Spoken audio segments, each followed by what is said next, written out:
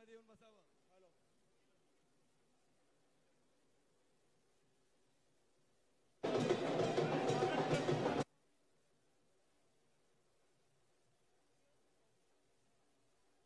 येथे जमलेल्या सर्व शेतकरी बांधवांचं हार्दिक स्वागत. थोड्याच वेळात आपल्या या सभेच्या कार्यक्रमाला आपण सुरुवात करतोय मी या चांदवडचे माजी आमदार शिरीष कोतवाल साहेबांना विनंती करतो की आपण सत्काराचा कार्यक्रम सुरुवात करावा.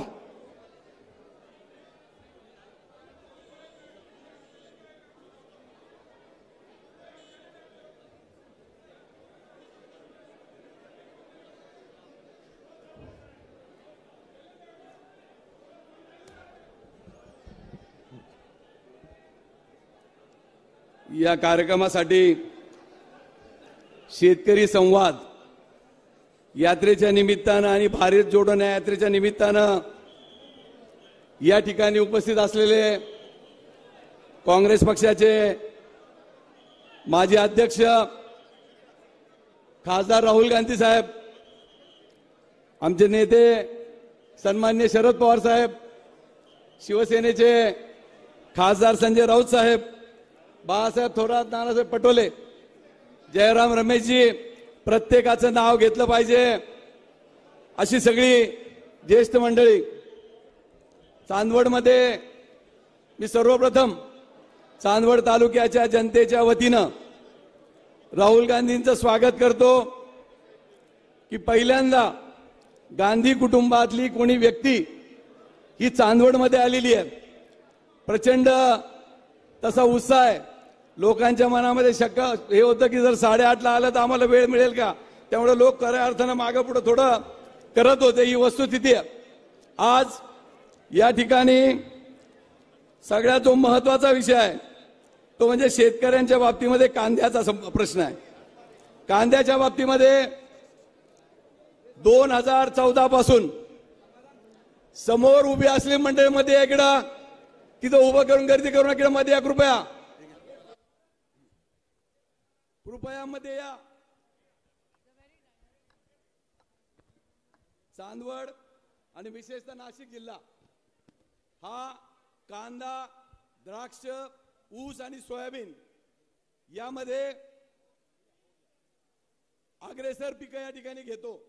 परंतु गेल्या दोन हजार चौदा पासून या ठिकाणी कांद्याच्या शेतकऱ्याची अक्षरशः वाताहत झालेली आहे. सांगितलं पाहिजे सांगितलं पाहिजे की गेल्या चौदा वर्षाचं गेल्या दहा वर्षाचं जर आपण रेकॉर्ड बघितलं तर दहा वर्षामध्ये खताचे दाम हे तिप्पट झाले. जी कोणी चारशे रुपयाला मिळत होती जो खाद की बोरी चार सौ रुपए को मिल रही थी आज पंद्रह सौ रुपए को मिल रही है. जो प्याज 2013-14 में अढ़ाई हजार तीन हजार बेच रहा था वो प्याज आज भी 1400-1500 रुपए पर क्विंटल बिक रहा है। और किसानों को एक क्विंटल प्याज की बुआई करने में और निकालने में लगभग 2000 रुपए खर्चा आता है। और 2000 रुपए खर्चा आने वाला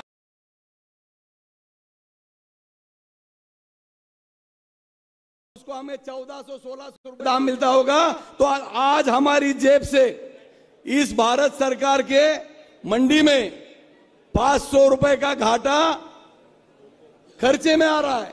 इसका मतलब ऐसा है, हम गवर्नमेंट को रिवर्स सब्सिडी दे रहे हैं। गवर्नमेंट ने हमें सब्सिडी देना चाहिए, मगर गवर्नमेंट हमें नहीं सब्सिडी दे रही। गवर्नमेंट को किसान सब्सिडी दे रहा, किसान मर रहा है, आत्महत्या कर रहा है, उसको कर्ज बाजारी हो रहा है। आप, शरद पवार जी और मनमोहन सिंह जी 2008 में पीएम और कृषि मंत्री थे। उसी वक्त ये किसानों का ऋण माफ़ करा। 2014 में मोदी जी ने सबको बताया कि हम यदि सत्ता में आए तो किसानों का ऋण माफ़ करेंगे। और उसके बाद उन्होंने बताया, ये तो जुमला था। इसके वजह से यहाँ बैठे हुए सब मेरे किसान भाई कर्ज में डूबे खरे का खोटा अरे मैं आवाज़ है क्या तुमचा? किसान दिक्कत में है, परेशानी में लिया हुआ कर्जा उसको भर देने आ रहा है। एक एकड़ एक एकड़ प्याज लगाने में, एक एकड़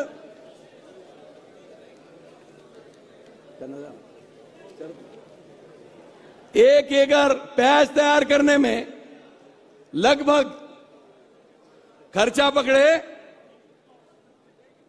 तो खर्चा जरा बसून घ्या सगळे?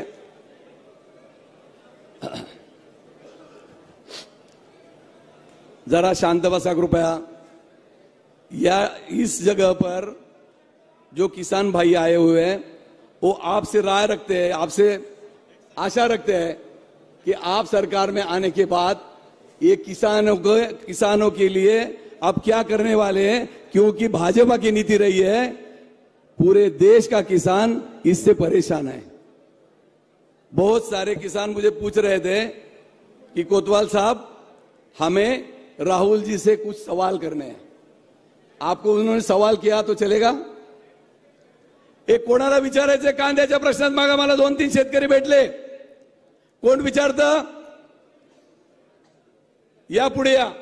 द्या त्यांच्याकडे माईक. ते मागे बघा. ते बाबा बसले मागे त्यांच्याकडे द्या. माईक द्या त्यांच्याकडे.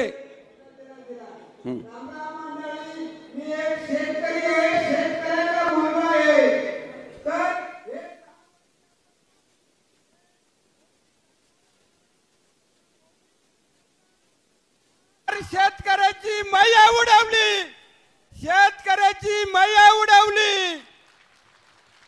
तर अक्षरशः तुम्हाला सांगतो दहा वर्षापासून एक दिवस ते कांदे साडेचार हजार रुपये विकत होते. ते एका रात्री मध्ये अठराशे रुपयावर आणले. निर्यात बंदी केली. निर्यात बंदी केली. तुम्हाला सांगतो हेच जे उत्तर मी बोलतो तर हे सगळे कार्यक्रम शेतकऱ्याच्या विरोधात हे मोदी सरकार करते म्हणून कृपा करून तुम्हाला सांगतो विकास आघाडी काँग्रेस सरकार यांना मदत करा. मदत करून या सरकारनं सुद्धा यांच्या सारखं केलं नाही पाहिजे. करणार असंच करणार का काही फरक करणार? ठीक आहे त्यांच्या भाषणामध्ये उत्तर देतील. अजून कोणाला शेतकऱ्यांना बोलायचे का? दोन दोन मिनिटाचा एक एक एक एक प्रश्न विचारा फक्त. कोण आहे? हा. त्यांना हा जरा बोला पगार बोला रामेश्वरचे पगार. ते काय पगार हुए त्यांना विचारा. त्यांच्याकडे जा फोन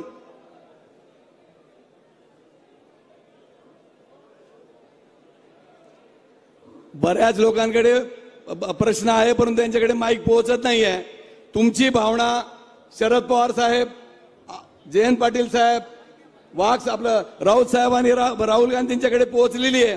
त्यांच्या भाषणामध्ये उत्तर देतील. उनका कहना ऐसा है 2014 से लेकर आज तक भारतीय जनता पक्षा के गवर्नमेंट ने हमारी पूरी हमारी बर्बादी करी है फसल की। आपका सरकार आने के बाद आप क्या करेंगे? ऐसा उनका सवाल है। कृपया आपके भाषण में आप उनका जवाब दीजिए। अजून कोणाला काही बोलायचं बोला बोला। हा।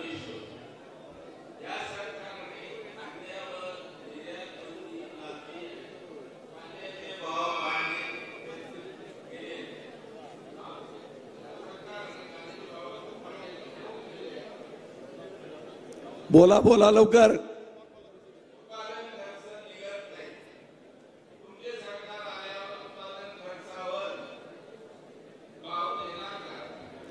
ठीक। ठीक आहे तुमचा प्रश्न मी लक्षात आला. त्यांना हिंदीमध्ये ट्रान्सलेट करून सांगतो. जो पक, पगार नाम के किसान है रामेश्वर देवला से उन्होंने आपसे पूछा है उन्होंने आपसे पूछा है कि इस दस साल के दौर में भाजपा गवर्नमेंट ने हमेशा प्याज के बारे में निर्यात बंदी करी है। उस वजह से किसानों के, किसानों को प्याज को दाम नहीं मिले। आपकी सरकार आने के बाद आप इसके बारे में क्या राय रखते हैं क्या धोरण रखते हैं ये उन्होंने पूछा है। आपके भाषण में आप बताइए। अजून, बोला ना पटकन तिथून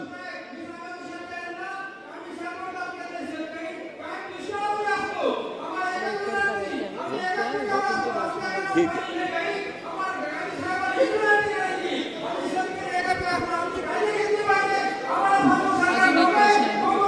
जायला संपूर्ण करा.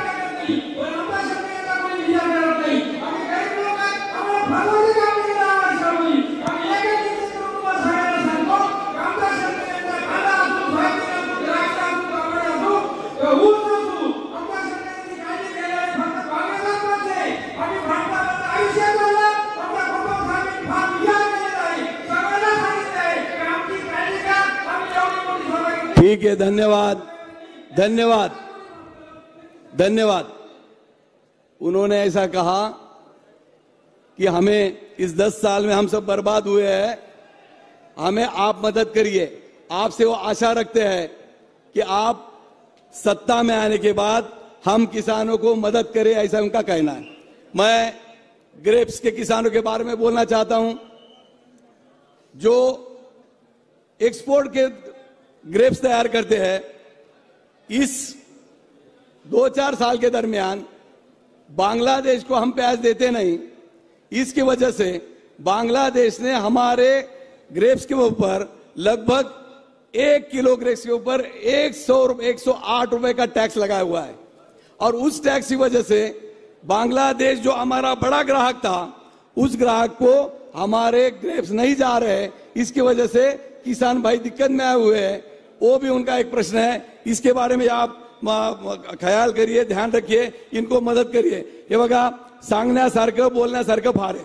मी भाषण करायला लागलो तर तुम्हाला इथून हलू देणार नाही पण त्यांची यात्रा आहे. त्यांना पुढच्या गावाला लवकर जायचंय.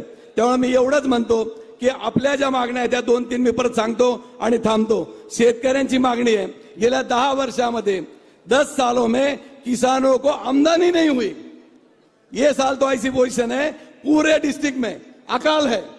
मेरा जो तहसील है, चांदवड़ देवला, यहाँ पर बीजेपी के विधायक काम कर रहे हैं। यहाँ पर जो मेंबर ऑफ़ पार्लियामेंट है, वो पार्लियामेंट में स्टेट मिनिस्टर ऑफ़ हेल्थ, वो यहाँ पर काम रही, काम कर रही है। मगर डिस्ट्रिक्ट में, पूरा डिस्ट्रिक्ट सूखा होते हुए भी सिर्फ़ जो मिनिस्टर्स है, दादा भूसे, छगन भुजबल जी, उनके दो ही तहसील अकाल की वजह से दुष्काल में लिए हुए हमारे इधर उनसे भी ज़्यादा भयानक परिस्थिति होते हुए भी हमें उन्होंने अकाल के नॉर्म्स में लिया नहीं, हमारे बहुत बड़ा अन्याय वो अन्याय हमारा दूर करो। ऐसी विनंती मैं आपके वजह से इनके इनको इनको करता हूँ। मेरी हिंदी इतनी इतनी अच्छी साफ़ नहीं है।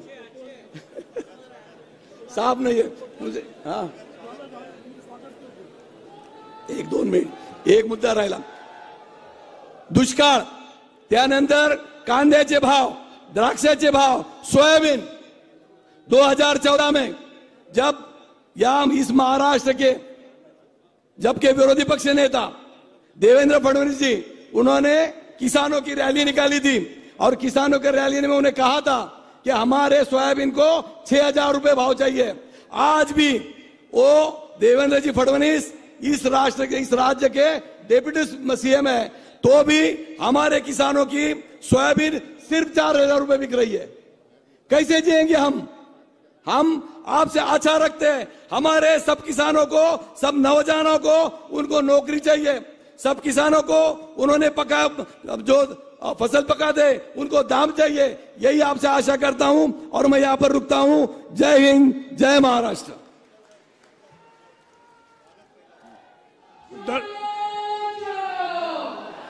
धन्यवाद कोतवाल साहेब. आपण आता आलेल्या पाहुण्यांचं आपण स्वागत करतोय. मी आदरणीय कोतवाल साहेबांना विनंती करतो की काँग्रेस पक्षाचे ज्येष्ठ नेते आमच्या सगळ्यांचं प्रेरणास्थान आमचं धडाडीचं नेतृत्व या देशाची शान आदरणीय राहुलजी गांधी यांचं स्वागत माननीय शिरीष कुमार कोतवाल साहेब करतील.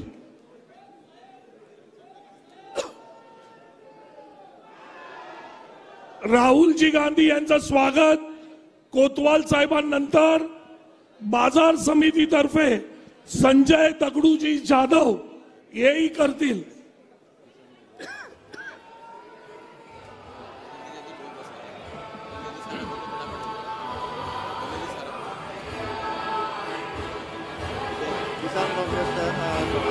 अरे बाबा पोजीशन में आ जाओ फोटो ले लेंगे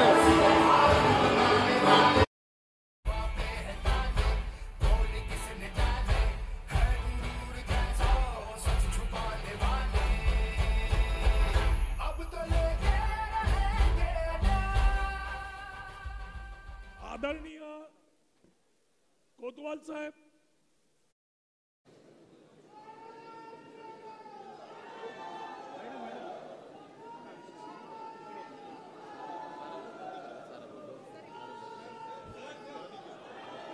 यानंतर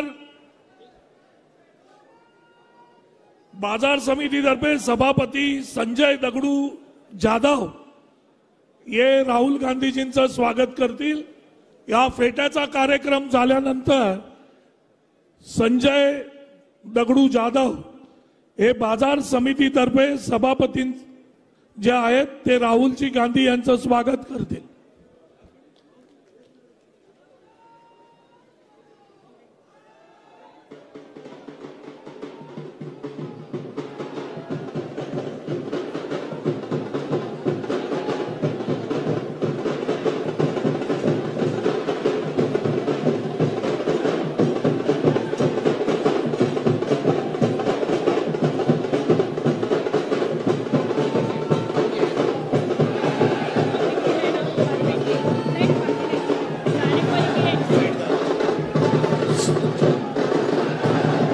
संजय दगडू जाधव.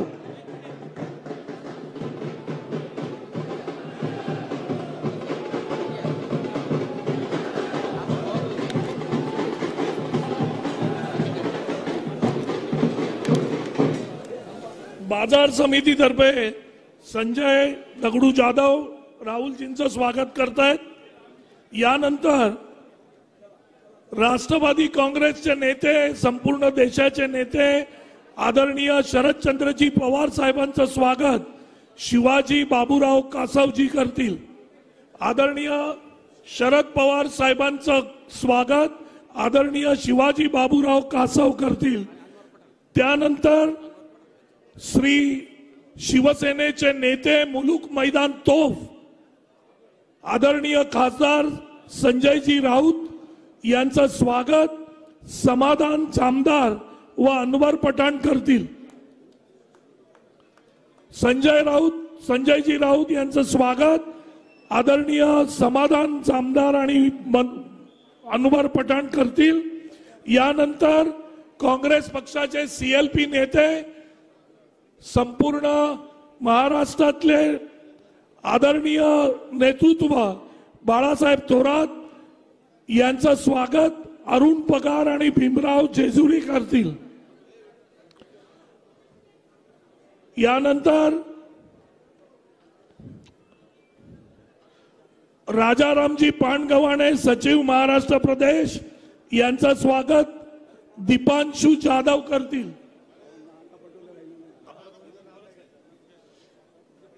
आपल्या सगळ्यांचे नेते आणि महाराष्ट्राचे बुलंद नेतृत्व आदरणीय महाराष्ट्राच्या काँग्रेस पक्षाचे अध्यक्ष आमच्या सगळ्यांचे प्रेरणास्थान आदरणीय नानाभाऊ पटोळे यांचं स्वागत संपतराव वागटे आणि विलास निकम करतील.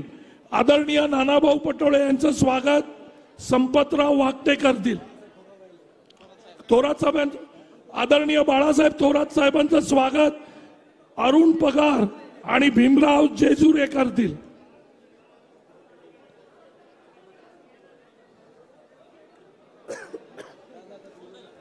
झालं. आदरणीय राष्ट्रवादी काँग्रेस पक्षाचे अध्यक्ष माननीय जयवंतराव पाटील यांचं स्वागत शिरीष कुमार कोतवाल साहेब करतील. जयंत पाटील साहेबांचं.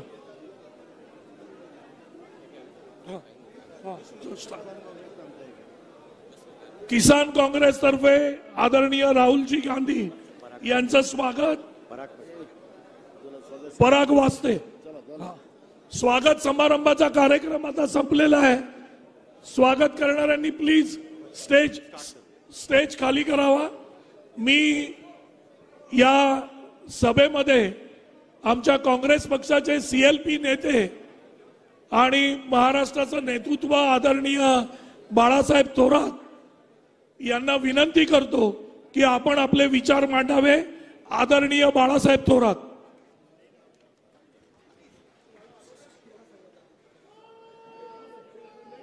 आजच्या शेतकऱ्या सभेसाठी उपस्थित असलेले आदरणीय राहुलजी आदरणीय शरदचंद्रजी पवार साहेब येथे उपस्थित असलेले शिवसेनेचे नेते खासदार संजयजी राऊत माननीय जयंतरावजी पाटील काँग्रेसचे अध्यक्ष नानाभाऊ पटोलेजी आदरणीय जयराम रमेशजी उपस्थित असली सर्व मान्यवर आणि सर्व शेतकरी बंधू आणि भगिनी. आज आपल्याकडे शेतकरी मेळावा येथे होतो आहे आणि आपण सर्वजण आदरणीय राहुलजी गांधी यांच्या या शेतकऱ्या मेळाव्यासाठी येथे उपस्थित आहोत. आदरणीय पवार साहेब सुद्धा आपल्याला संबोधित करण्याकरता उपस्थित राहिलेले आहेत. मी श्रीजी कोतवाल आणि त्यांच्या सर्व सहकाऱ्यांचं आभार मानतो की त्यांनी इतक्या लवकर शेतकरी सगळे कामात असतात सकाळचे वेळ. त्यावेळेसच आपल्या सगळ्यांना इथे बोलवलेलं आहे आणि आपण सर्वजण इथे उपस्थित राहिलेले आहात. महाराष्ट्रातला शेतकरी असेल देशातला शेतकरी असेल प्रचंड अडचणीमधून आपली सगळी वाटचाल सुरू आहे. आणि याला कोण जबाबदार असेल तर भारतीय जनता पक्ष आणि त्यांची राज्य करण्याची पद्धती त्यांची विचार प्रणाली जी आहे ती जबाबदार आहे. आदरणीय राहुलजी यांनी पहिली पदयात्रा केली होती. कन्याकुमारी पासून तर काश्मीर पर्यंत चार हजार सातशे पन्नास किलोमीटरची. आता पुन्हा ही रॅली त्यांची सुरू आहे. ती मणिपूरपासून त्यांनी सुरुवात केलेली आहे आणि मुंबईकडे ते जात आहेत. त्यांचं स्वागत आपण करतो आहोत. आदरणीय राहुलजींनी या या यात्रेमध्ये काही भूमिका घेतलेल्या आहेत. त्या भूमिका युवकांसाठी आहे की पुढच्या कालखंडातला युवक कसा असावा आश्वासित ते करतायत. गॅरंटी ते देत आहेत युवकांना. त्या युवकाला कोणती मदत ते करणार? महिलांना गॅरंटी करतायत की महिलांकरता आम्ही आमचं सरकार आल्यानंतर काय करणार? त्याच पद्धतीनं शेतकऱ्यांना सुद्धा ते आज सांगतायत. की श्यामचं आमचं सरकार येऊ द्या. आम्ही तुमच्याकरता काय करणार हे सांगणार गॅरंटी देणार अशा प्रकारची सभा आजची आहे. आपण पाहिलं असेल दोन हजार चारपासून तर दोन हजार चौदा पर्यंत आदरणीय सुनेंच्या नेतृत्वाखाली युपीए सरकार होतं मनमोहन सिंगजी पंतप्रधान होते पवार साहेब त्यावेळेस कृषी मंत्री होते. त्या कालखंडामध्ये घेतलेले निर्णय आपण सगळ्यांनी मुद्दाम आठवावेत. सगळ्या प्रकारचे निर्णय त्यांनी जे घेतले ते सर्वसामान्य जनतेच्या हिताचे घेतले शेतकऱ्याच्या हिताचे घेतले कामगारांच्या हिताचे घेतले. दोन हजार चौदा नंतरच जी परिस्थिती निर्माण झालेली आहे ती अत्यंत कठीण परिस्थितीतून आपण सर्वजण जातो आहोत शेतकरी जातो आहोत. प्रचंड अनास्था भारतीय जनता पक्षाची शेतकऱ्याच्या बाबतीत आणि सर्वसामान्य जनतेच्या बाबतीत आहे. मुठभर धन दांडग्यान करता काम करणारं सरकार म्हणजे भारतीय जनता पक्षाचं सरकार ते केंद्राचं असेल नाही तर राज्याचं असेल. अशा परिस्थितीत जात असताना आपल्याला आहे का हा भाग आपला दुष्काळी भाग है इस साल अकाल की स्थिति है बारिश बहुत कम हो गई है यहाँ बहुत बारिश कम हुई है। और ये बारिश कम होते हुए भी प्याज जो यहाँ का उत्पादन है प्याज का उत्पादन उसको थोड़े से दाम बढ़ गए तो निर्यात बंदी कर, की गई। झूठे आश्वासन होता है लेकिन किसानों के लिए कोई निर्णय हे राज्य सरकार नाही करता और केंद्र सरकार भी नाही करत आहे. आणि म्हणून आपल्या सगळ्यांना अनेक प्रश्न आहेत. द्राक्षाचे प्रश्न आहेत ऊसाचे साखरेचे निर्यातबंदीचे प्रश्न आहेत प्रश्नच प्रश्न आपल्या होती आहेत. ते सुटले पाहिजे. आणि म्हणून या आश्वासित करणारी सभा आपल्या सर्वांची येथे होते आहे. आपल्या सर्वांचं मी स्वागत करतो. राहुलजींचं स्वागत करतो. आणि माझे दोन शब्द संपवतो. धन्यवाद थोरात साहेब. मी आता विनंती करतो महाराष्ट्र राष्ट्रवादी काँग्रेसचे अध्यक्ष आदरणीय जयवंतराव पाटील साहेबांना की आपण आपले विचार मांडावेत. आदरणीय जयंत पाटील साहेब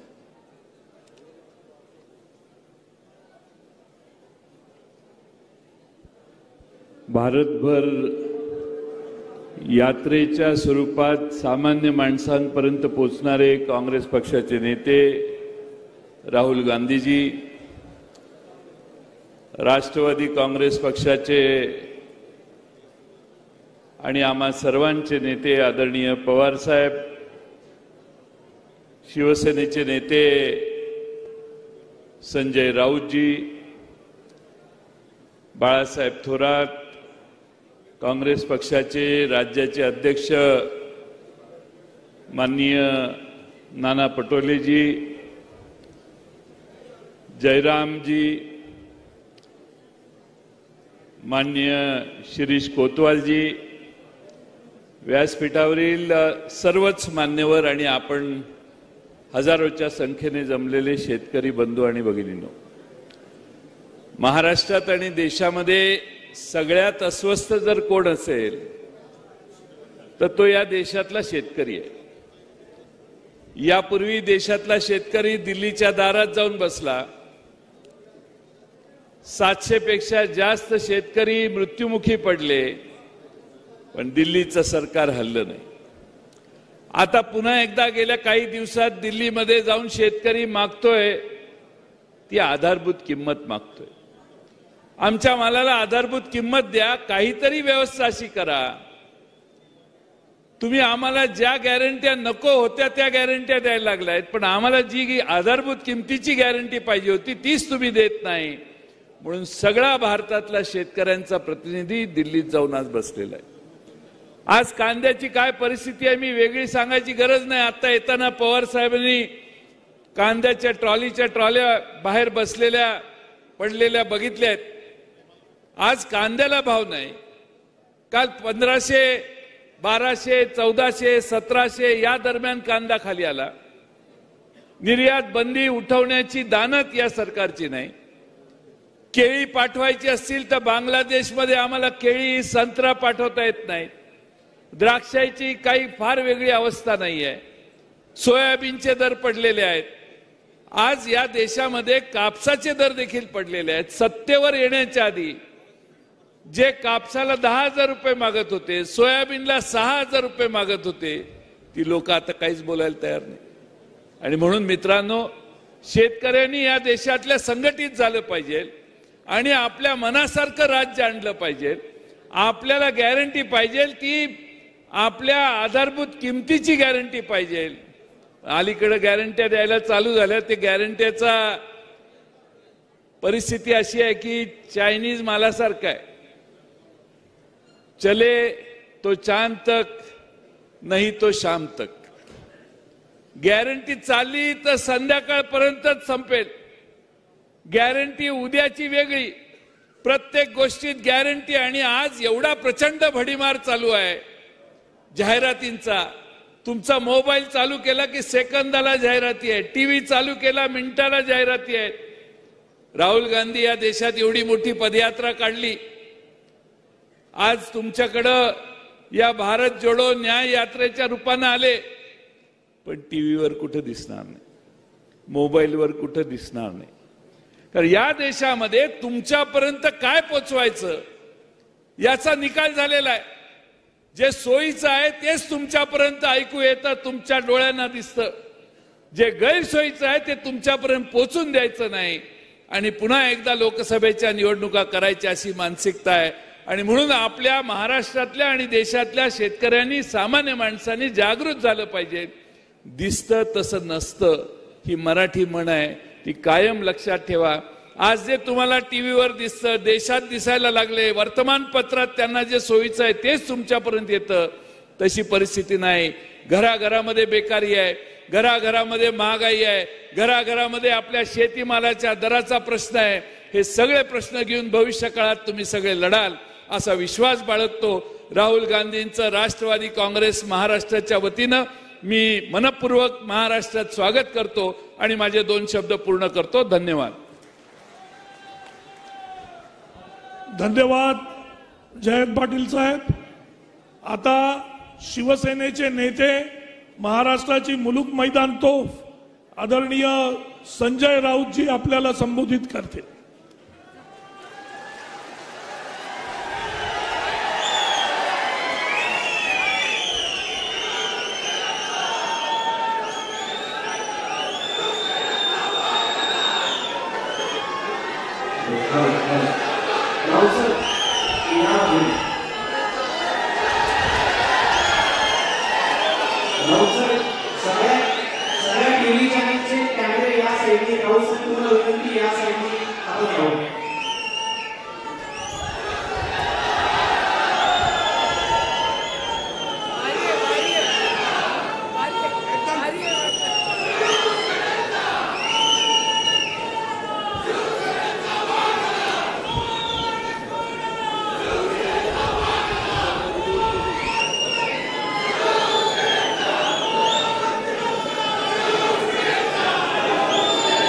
व्यासपीठावरील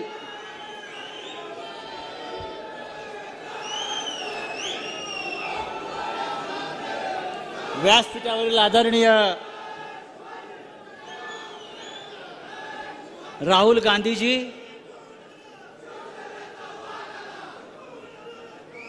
शरद पवार साहेब नाना पटोलेजी बाळासाहेब थोरात जयंतरावजी पाटील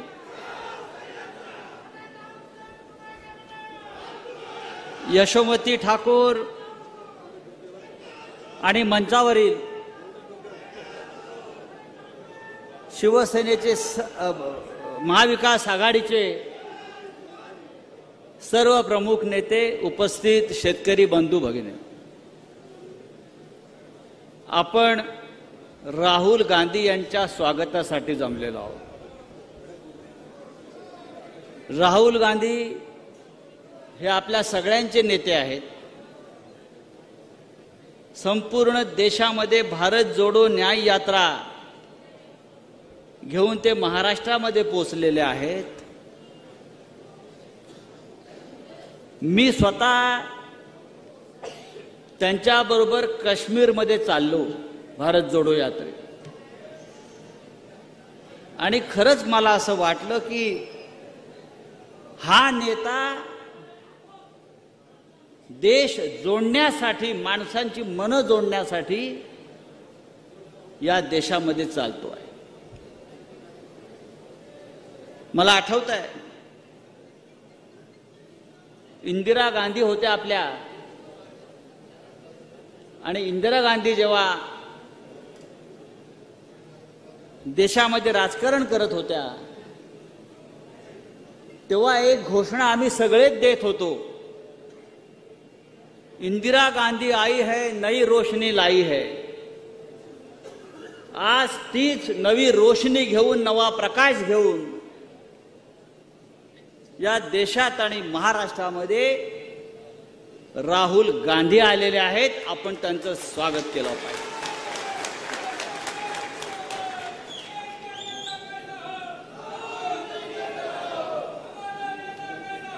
माझं आव्हान आहे.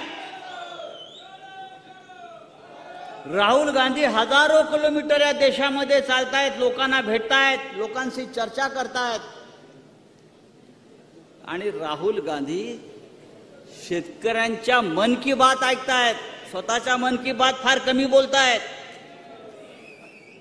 काही लोक फक्त आपल्याच मन की बात सांगतायत माझंच ऐका. दुसरं कोणाचं ऐकायचं नाही राहुल गांधीचं मी पाहतो आहे. ते शेतकऱ्यांच्या कष्टकऱ्यांच्या मन की बात ऐकतायत आणि त्या संदर्भात आपल्या भूमिका व्यक्त करतायत. राहुलजी महाराष्ट्रात आलेले आहेत. राहुल राहुल गांधी आता दोन दिवसात मुंबईला पोचतील महाराष्ट्राच्या राजधानीत पोहोचतील. तिथेही त्यांचं भव्य स्वागत केलं जाईल. पण या देशामध्ये मोदींसाठी अमित शहासाठी ज्या प्रकारे भाड्याने लोक आणावी लागतात तशी या भारत जोडो यात्रेमध्ये भारत जोडो न्याय यात्रेमध्ये चालण्यासाठी सभेसाठी भाड्याने लोक आणलेली नाहीत. लोक स्वतःहून येत आहेत लोक स्वतःहून चालतायत लोक स्वतःहून आपले विचार मांडतायत. आणि हीच आपल्या देशामध्ये परिवर्तनाची नांदी आहे.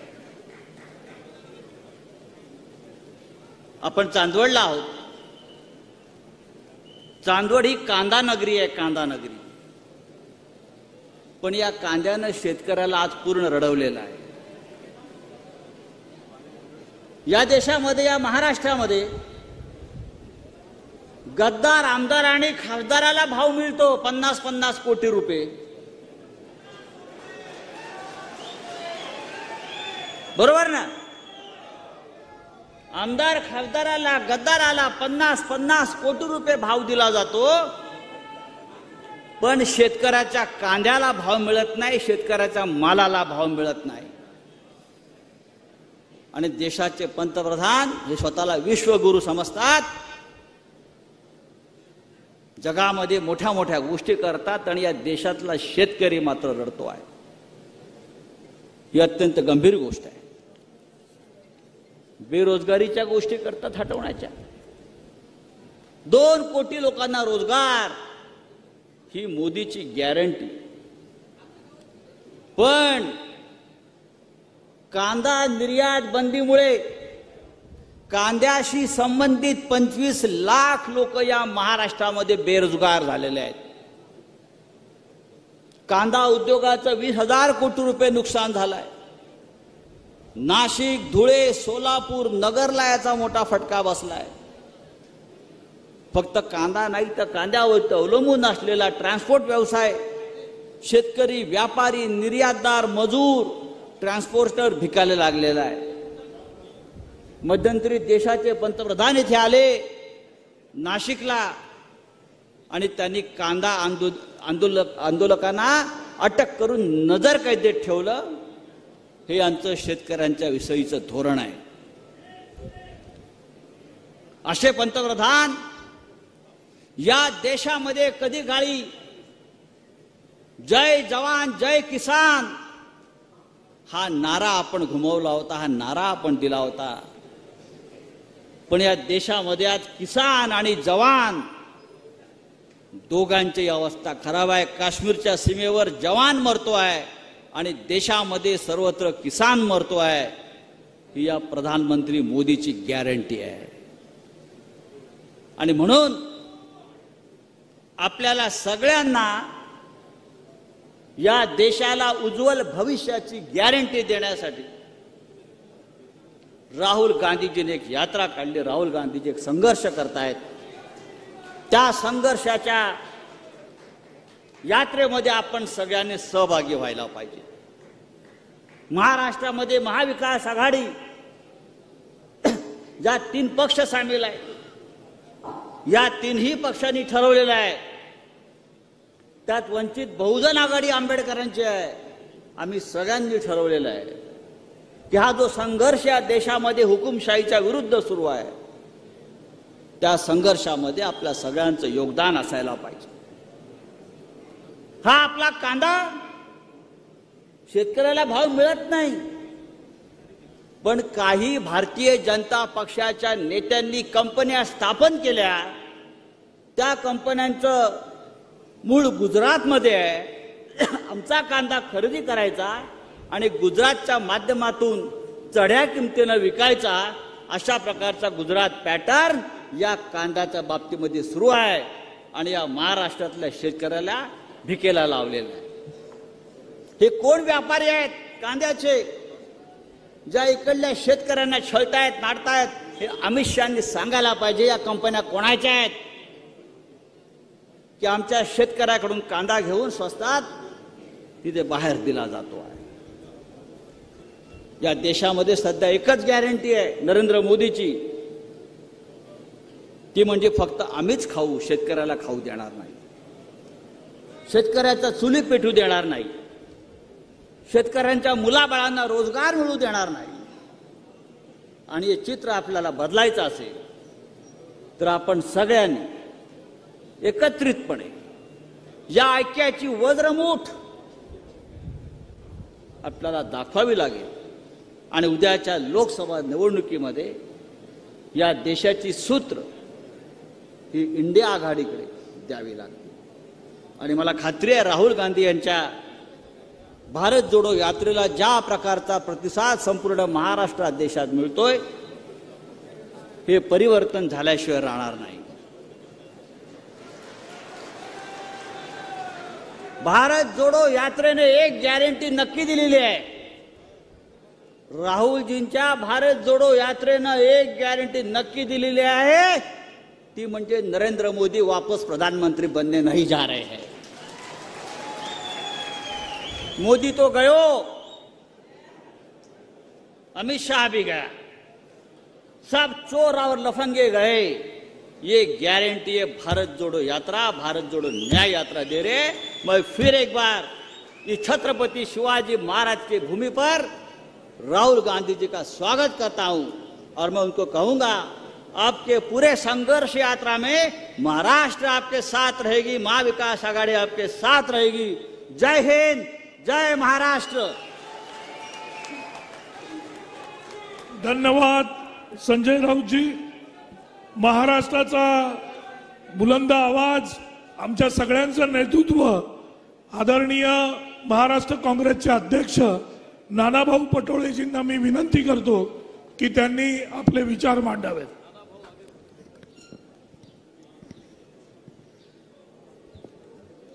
जय जवान.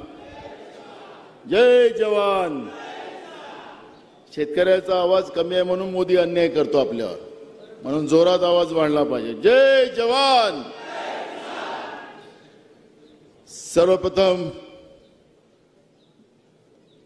कांदा उत्पादक सोयाबीन उत्पादक डाळी उत्पादक असा हा सगळा शेतकरी वर्ग या ठिकाणी राहुल गांधींना राहुल गांधींचं स्वागत करायसाठी आणि त्यांना ऐकण्यासाठी आपण या ठिकाणी सगळेजण उपस्थित झाला. त्याबद्दल आपल्या सगळ्यांचं मनापासून सुरुवातीला मी धन्यवाद करतो. एक ही सामाजिक लढाई. राहुल गांधींची जी संघर्ष यात्रा आहे ही यात्राच एक सामाजिक लढाई आहे.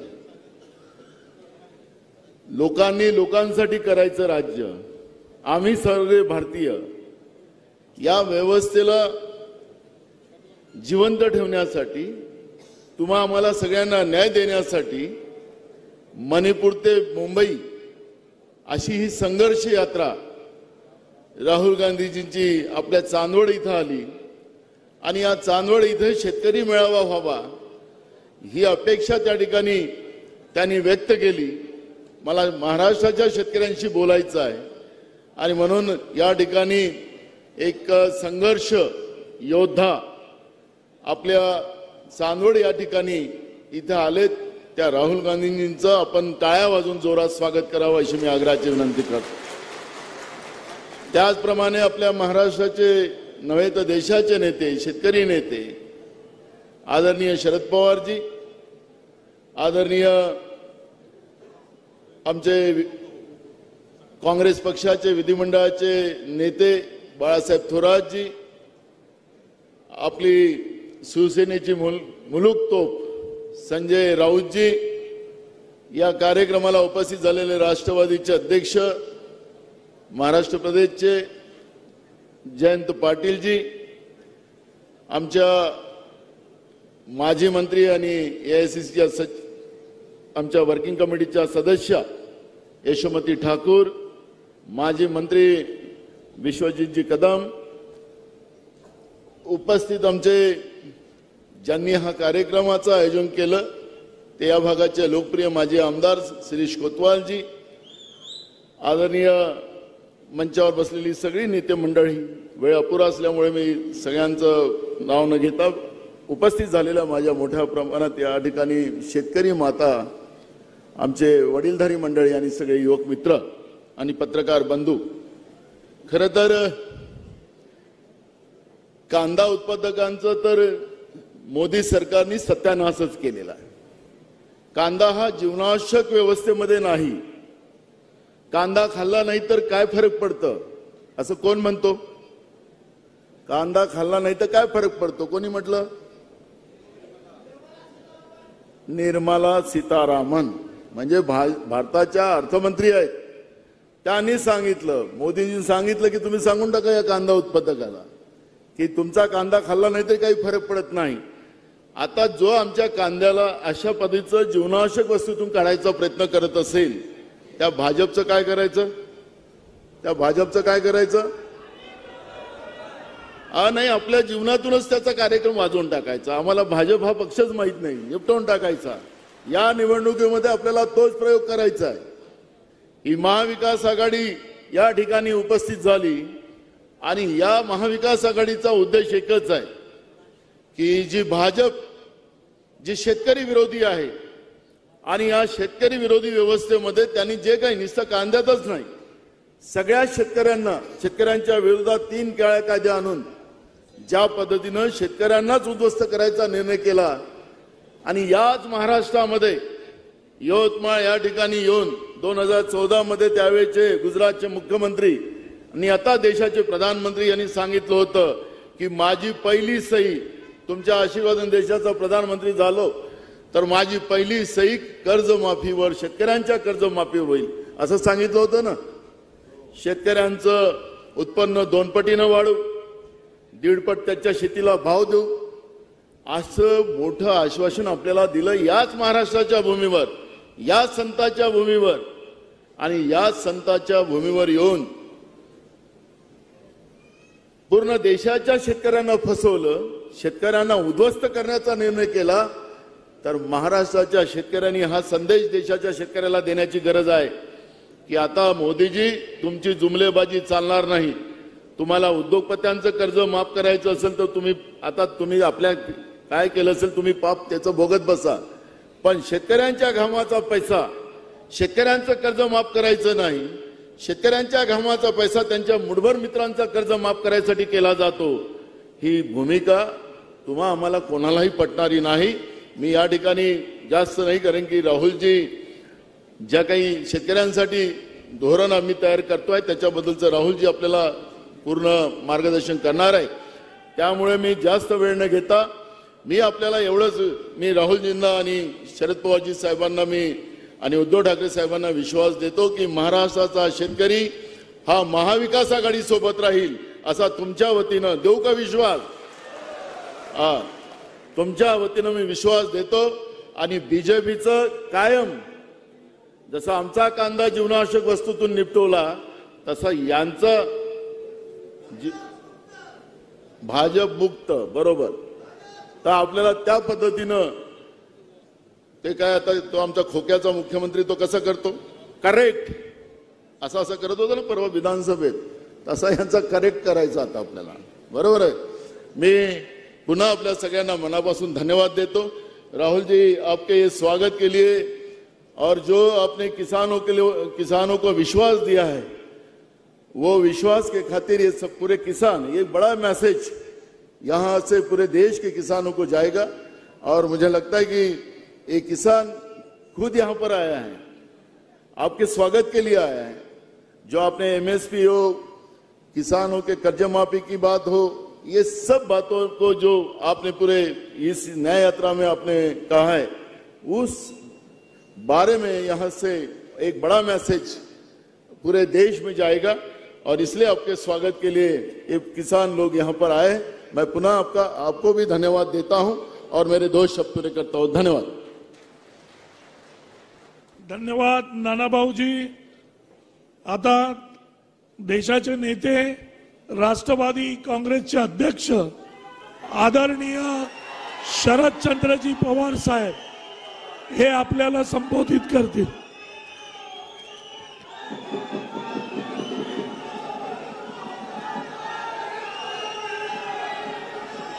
यांच्या स्वागताच्यासाठी छान ज्यांच्या स्वागताच्यासाठी आपण या ठिकाणी आनंदाने उपस्थित आहात. हे काँग्रेस पक्षाचे नेते राहुल गांधी व्यासपीठावर असलेले काँग्रेस पक्ष राष्ट्रवादी काँग्रेस पक्ष उद्धव ठाकरे यांच्या नेतृत्वाखालची शिवसेना मार्क्सवादी कम्युनिस्ट पार्टी आणि अन्य सगळ्या पक्षांचे नेते आणि उपस्थित बंधू मैं राहुल जी को कहना चाहता हूँ कि इस डिस्ट्रिक्ट में 1950 के बाद ऑल इंडिया कांग्रेस का सेशन हुआ था। जहाँ पंडित जवाहरलाल नेहरू थे, महात्मा गांधी थे देश के बड़े नेता, इन्होंने ये सेशन के लिए दो या तीन दिन नासिक विषय में बताए थे। नासिक, महात्मा गांधी पंडित जवाहरलाल नेहरू, इनकी विचारधारा को स्वागत करने वाला डिस्ट्रिक्ट है। और साथ साथ बहुत से बड़ी आबादी खेती में दिलचस्पी लेने वाली आबादी है यहाँ के जो फसल हैं चाहे प्याज हो चाहे अंगूर हो चाहे गेहूँ हो मेहनत करके देश की भूख की समस्या खत्म करने के लिए यहाँ का किसान अपना खून और पसीना देता है मगर आज वही किसानों की स्थिति बड़ी गंभीर हुई है. आणि त्याचं कारण आज देशाचं राज्य सत्ता ज्यांच्या हातामध्ये आहे त्यांना शेती आणि शेतकरी याच्या संबंधीची यत्किंचित सुद्धा असता नाही. मला आठवत आहे डॉक्टर मनमोहन सिंगांच्या सरकारमध्ये आम्ही जो काम करत होतो आणि एके दिवशी याच चांदोडला माझी सभा होती. आणि इथं आल्याच्यानंतर माझ्याकडे संदेश आला की दिल्लीच्या पार्लमेंटमध्ये म्हणजे कांदा या फसलावर चर्चा होणार आहे. इथून मी सरळ दिल्लीला गेलो. दुसऱ्या दिवशी पार्लमेंटमध्ये आज जे सत्तेत आहेत ते भाजपचे नेते गळ्यात कांद्याच्या माळा घालून सदनामध्ये आले. आणि कांद्याचे भाव फार वाढलेत आम्हाला जगणं मुश्किल आहे. या प्रकारच्या घोषणा त्यांच्या ठिकाणी केल्या. मला त्याचं उत्तर द्यायचं होतं. आणि मी उत्तरात सांगितलं की कांदा हा जिल्हा शेतकऱ्याचं पीक आहे. कांदा हे एकच पीक वर्षाला देणारं पीक आहे. आणि कांद्याचं उत्पन्न आणि त्याच्यावरचा खर्च हा बघितल्याच्या नंतर त्याला रास्त किंमत द्यायला हवी आहे आणि ती देऊ नये म्हणून भाजपाने पार्लमेंटमध्ये संघर्ष केला. कांद्याच्या माया गळ्यात घातल्या. मी स्वच्छ सांगून टाकलं की तुम्ही कांद्याच्या माळा घाला नाही तर कवड्याच्या माळा घाला. कधी न्यायची शेतकऱ्याला? कांदा उत्पादकाला दोन पैसे मिळतात त्याच्या भावात मी अजिबात कमाल करणार नाही. त्याच्या खर्चामध्ये तो भाग मिळतो पण आज याच्या उलटी स्थिती आहे. आजच्या सरकारला याच्या कोणत्याही गोष्टीच्या संबंधीचं आस्था नाही प्रेम नाही. आणि या सगळ्या गोष्टीचा परिणाम आज हिंदुस्थानामध्ये शेतकरी संकटात गेला कर्जबाजारी झाला आहे आत्महत्या करतोय मला आठवत आहे यवतमाळ जिल्ह्यामध्ये शेतकऱ्यांनी आत्ता आत्महत्या केली. त्याची माहिती घ्यायला आम्ही गेलो त्या ठिकाणी. त्या कुटुंबाला भेटलं. कळत्या माणसाने आत्महत्या केली. त्या कळत्या माणसाच्या माऊलीला भेटल्यानंतर मी त्यांना विचारलं की तुझ्या मालकाने आत्महत्या का केली? तिने सांगितलं मुलीचं लग्न ठरलं होतं. बँकेचं कर्ज होतं. सावकाराचं कर्ज होतं. आणि लग्न ठरल्याच्या नंतर सावकाराने नोटीस पाठवली बँकेने आणि कर्ज फेडायला उशीर झाला म्हणून घरातली वांगी कुंडी बाहेर काढली. आणि घरातली भांडी कुंडी बाहेर काढल्यानंतर मुलीचं लग्न मोजलं. ते मुलीच्या भावाला सहन झालं नाही. आणि त्यानंतर त्यांनी आत्महत्या केली. दिल्लीमध्ये आम्ही लोक परत गेलो. डॉक्टर मनमोहन सिंग यांच्याशी चर्चा केली. आणि ठरवलं की या देशातल्या शेतकऱ्याच्या डोक्यावरचं ओझं माफ करून टाकायचं. मोठ्या मोठ्या कारखानदारांना उद्योगपतींना बँका कोट्यावधी व्हायची सवलत देते. पण शेतकऱ्याला सवलत देत नाही. मंत्रिमंडळामध्ये निकाल घेतला. सत्तर हजार कोटीचं कर्ज एका हुकमानीच्या ठिकाणी माफ केलं आणि शेतकऱ्याच्या डोक्यावरचं उभं कमी केलं. पण आज काय स्थिती आहे? आज ही स्थिती फरक आहे. आज प्रत्येक शेतकरी संकटात आहे. आणि त्याला संकटातून बाहेर काढण्याच्यासाठी आजच्या राज्यकर्त्यांना असं नाही. आणि म्हणून कष्ट करायच्या विरुद्धचे सरकार शेतकऱ्याच्या विरुद्ध जे सरकार बेरोजगार तरुणांच्या विरुद्ध जे सरकार महागाईला निमंत्रण देणार जे सरकार ते मोदी सरकार हटवणं हे तुमचं नव्हतं काम आहे. आणि त्या कामाच्यासाठी आपण सामुदायिक शक्ती देऊन सर्व देशामध्ये जे काही करता येईल ते करूया. मला आनंद आहे की या देशाच्या जनतेला देशाच्या तरुण पिढीला एकत्र करून याबद्दलचं एक जन्मत सर्व देशामध्ये तयार करण्याची अत्यंत महत्त्वाची कामगिरी. आज राहुल गांधी करतायत त्यांच्या या विचारातून त्यांना शक्ती देऊन या देशामध्ये परिवर्तन करण्याच्या कामाला लागण्याची आज आव्हान या चांदवडला संवाद घेऊ एवढंच या ठिकाणी सांगतो. माझे दोन शब्द संपवतो.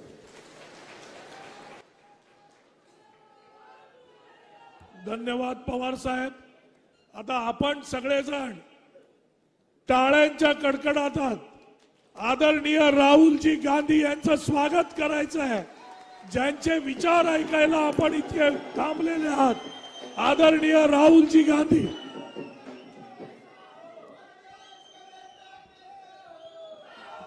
राम राम मंडली.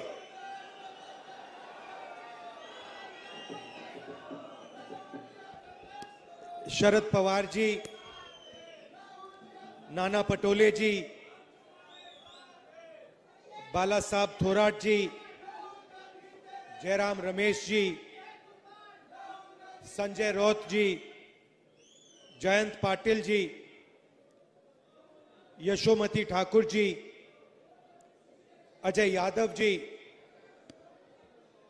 शिरीष कोटवाल जी, तुषार शेवाले जी संजय जाधव जी, जीवा गावित जी, स्टेज पे सारे सीनियर नेता, गठबंधन के वरिष्ठ नेता, प्यारे किसानों, भाइयों और बहनों, प्रेस के हमारे मित्रों, आप सबका यहाँ बहुत बहुत स्वागत। नमस्कार। यहाँ पे सबसे बड़ा मुद्दा प्याज के दाम का है। हैगा? नेशनल मीडिया में आपने इसके बारे में कोई डिस्कशन देखी? नहीं दिख सकता। सबसे बड़े मुद्दे किसान के मुद्दे बेरोजगारी, महँगाई, अग्निवीर। मैं 4000 किलोमीटर कन्याकुमारी से कश्मीर चला और 6000 किलोमीटर मणिपुर से महाराष्ट्र तक। और लाखों लोगों से मिला हूँ और हज़ारों से मैंने बात की है। देश में दो तीन मुद्दे हैं। सबसे बड़ा बेरोजगारी, दूसरा महँगाई,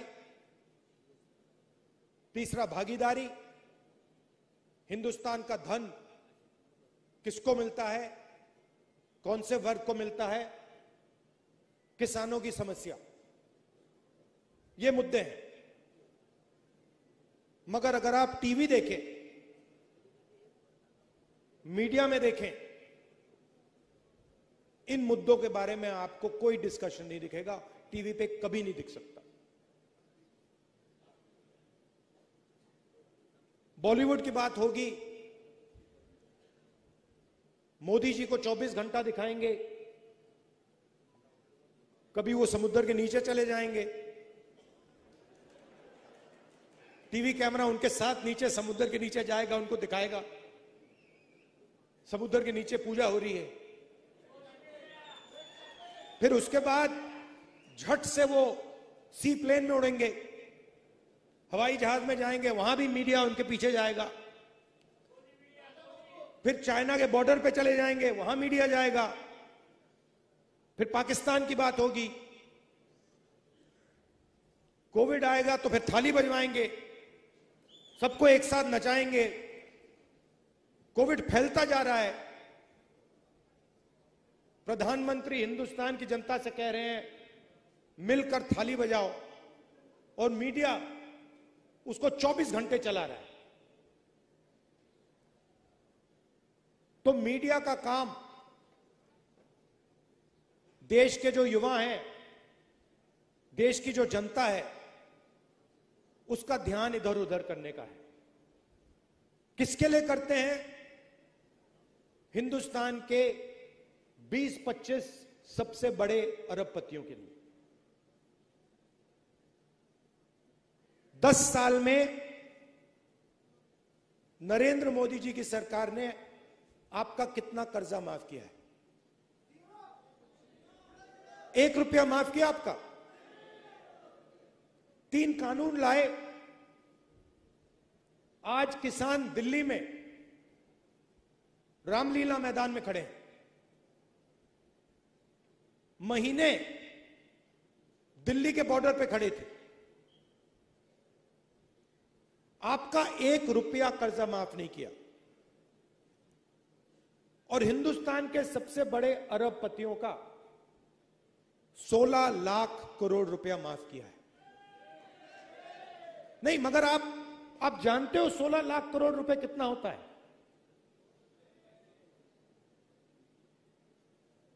ऐसा बड़ा नंबर है। आम आदमी को, किसान को, मजदूर को हमें यह नंबर समझ ही नहीं आता। अरबपति को आपने बताया कि देखिए 16 लाख करोड़ रुपए है, उनको एकदम समझ आ जाती है बात। मनरेगा में पैंसठ हज़ार करोड़ रुपए लगता है साल का।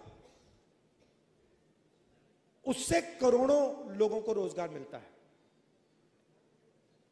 आपका हमने तकरीबन सत्तर हज़ार करोड़ रुपया, जब यूपीए की सरकार थी, कर्जा माफ़ किया था, आपको याद होगा।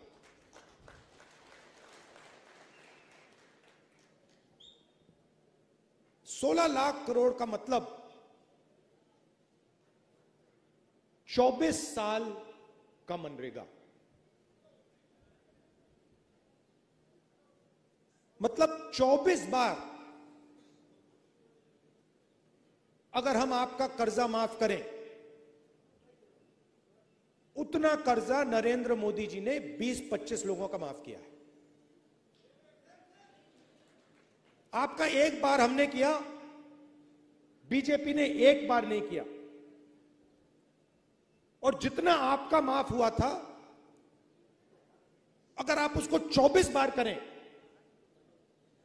उतना नरेंद्र मोदी जी ने 20-25 लोगों का माफ़ किया है।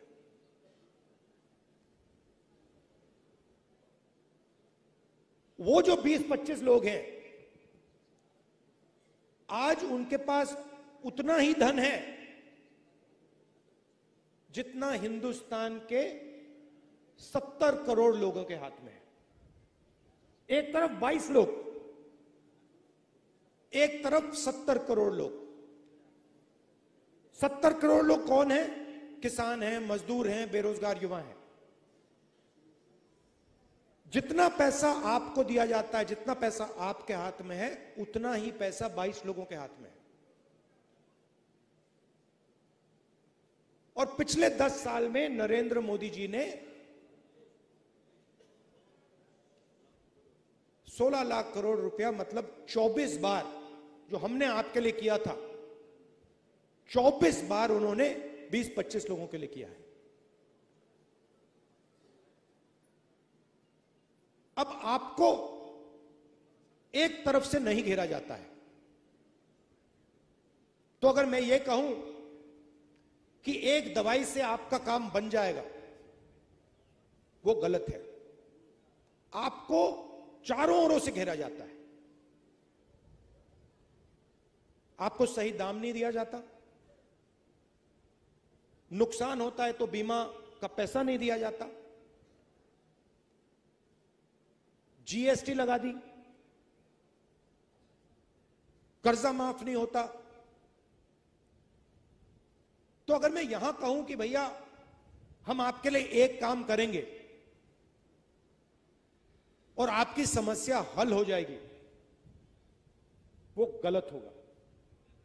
अगर आपको चारों ओर से घेरा जा रहा है तो दवाई भी चारों ओर से लगानी पड़ेगी। तो दवाई क्या है? और यह भी शुरुआत है। सबसे पहले, अगर हिंदुस्तान के सबसे अमीर लोगों का कर्जा माफ़ हो सकता है, पैसा आपका है। जितनी जीएसटी आप देते हो, उतनी जीएसटी अदानी देते हैं। आपने ये शर्ट खरीदी हज़ार रुपए के, के लिए आपने खरीदी अठारह परसेंट आप दोगे। वही अदानी देगा। उसने हज़ार रुपए की शर्ट खरीदी उतनी ही जीएसटी देगा। हिंदुस्तान की सरकार का पैसा कहाँ से आता है? जीएसटी से आता है। सबसे ज़्यादा कौन देता है? किसान देता है मजदूर देता है छोटा दुकानदार देता है बेरोजगार युवा देता है। तो अगर 16 लाख करोड़ रुपए उनका कर्जा माफ़ हो सकता है तो आपका भी कर्जा माफ़ होगा। या तो आप उनका मत कीजिए। या सरकार को कहना चाहिए, देखिए, अगर किसान का कर्जा माफ़ नहीं होता है तो अरबपतियों का भी नहीं होगा। मगर अगर अरबपतियों का 24 साल का कर्जा माफ़, आपका 24 साल का कर्जा माफ़ किया जा सकता है तो आपका भी होगा। तो पहली दवाई यह है। दूसरी दवाई जो यहाँ आप जानते हो, किसान को सही दाम नहीं मिलता, किसी भी स्टेट में नहीं मिलता। बीजेपी ने कहा कि कानूनी एमएसपी लागू नहीं की जा सकती। बिल्कुल की जा सकती है। हमने अपने मैनिफेस्टो में साफ़ लिख दिया है कि कानूनी एमएसपी लागू की जाएगी और स्वामीनाथन रिपोर्ट के मुताबिक की जाएगी। दूसरी दवाई ये। तीसरी दवाई, फ़सल बीमा योजना जो बनाया है, उससे आपको नुकसान होता है। पंद्रह सोलह कंपनियाँ हैं, उनको सरकार बीमा योजना का पैसा देती है। आप लिस्ट चाहते हो, मैं आपको लिस्ट दे दूँगा। आपका नुकसान होता है। आंधी आती है, तूफ़ान आता है, बारिश आती है, पानी गिरता है, नुकसान होता है। आपको कहते हैं, भैया, आपको कॉम्पेंसेशन नहीं मिलेगी। वो आपको मुआवजा नहीं देंगे। तो तीसरी दवाई, फ़सल बीमा योजना को रिस्ट्रक्चर करना। फ़सल बीमा योजना का काम आपकी रक्षा करने का है, उद्योगपतियों की रक्षा करने का नहीं है। तो तीसरी दवाई ये, चौथी दवाई, जैसे ही आपको प्याज बेचने का समय आता है, एकदम एक्सपोर्ट इंपोर्ट पॉलिसी को बदल दिया जाता है। एक्सपोर्ट इंपोर्ट पॉलिसी की ट्यूनिंग आपको मारने के लिए की जाती है। तो अगर हमारी सरकार आएगी एक्सपोर्ट इंपोर्ट पॉलिसी से आपकी रक्षा होगी, आपकी प्राइस की रक्षा होगी, आपको, आपका जो दाम है एक्सपोर्ट इंपोर्ट पॉलिसी उसका रक्षा, उसकी रक्षा करेगी। और आखिरी चीज़, जो जीएसटी है, जो पहली बार किसानों पर टैक्स लग रहा है अलग अलग तरीके के टैक्स हैं अलग अलग लेवल के टैक्स हैं, इस जीएसटी को हम स्टडी करके एक टैक्स देंगे आपको और हमारी पूरी कोशिश होगी कि किसान जीएसटी में ना रहे। मगर ये जो सब है ये सब आपकी मद, मदद करने के तरीके हैं। मगर जब तक एक व्यक्ति किसान का दुख को नहीं समझता है किसान की मेहनत की इज़्ज़त नहीं करता है, तब तक वो किसान की मदद नहीं कर सकता है। तो सबसे ज़रूरी बात यह है कि हमारे दरवाजे, चाहे वो महाराष्ट्र की सरकार हो, दिल्ली की सरकार हो, हमारे दरवाजे आपके लिए खुले रहेंगे। और आपको यह लगेगा कि दिल्ली में किसानों को रक्षा करने वाली सरकार है, किसानों की आवाज़ को सुनने वाली सरकार है। देखिए, जवान देश की रक्षा करता है, बॉर्डर पर रक्षा करता है, बाहर से कोई ना आए, उसकी ज़िम्मेदारी जवान की है। उधर उन्होंने अग्निवीर लागू कर दिया। दो तरीके के शहीद बना दिए। छह महीने की ट्रेनिंग मिलेगी। अग्निवीर को छह महीने की ट्रेनिंग मिलेगी। चाइना को जो सैनिक है, उसको तीन चार साल की ट्रेनिंग मिलेगी। अग्निवीर को पेंशन नहीं मिलेगी। कैंटीन नहीं मिलेगी। शहीद का दर्जा नहीं मिलेगा। और उसके साथ जो जवान लड़ेगा, उसको शहीद का दर्जा मिलेगा, उसको पेंशन मिलेगी, उसके परिवार की रक्षा होगी। तो अग्निवीर ने सेना को कमज़ोर किया है। और वो जो हमारे जवानों के साथ कर रहे हैं, वो हिंदुस्तान के अंदर आपके साथ कर रहे हैं। अगर जवान देश की बॉर्डर की रक्षा करता है तो आप देश के अंदर हमारी रक्षा करते हो। तो सरकार का फ़र्ज़ बनता है कि वो जवान की रक्षा करें और किसान की भी रक्षा करें। क्योंकि आपके बिना, मैं बता रहा हूँ, आपके बिना देश नहीं चल सकता। देश बढ़ जाएगा, टूट जाएगा। और मैं दिल से बात कर रहा हूँ। कभी भी आपको ज़रूरत हो, हमारे दरवाजे, मेरे दरवाजे, सरकार के दरवाजे आपके लिए खुले हैं। आप सब यहाँ आए, दिल से आपका धन्यवाद करना चाहता हूँ। शरद पवार जी, संजय राउत जी, हमारे जो सीनियर नेता हैं और जो किसान आए हैं, सबका बहुत बहुत धन्यवाद। नमस्कार। जय हिंद। राहुल गांधी संघर्ष करो।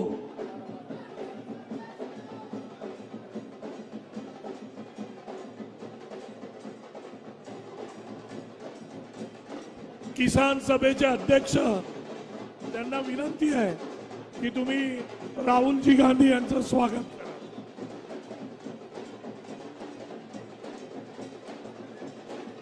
या सभेसाठी उपस्थित असलेले आपले सर्वांचे लाडके नेते माननीय राहुलजी तसेच सर्व आदरणीय मंचावरचे आणि सर्व शेतकऱ्यांचे आभार व्यक्त करतो.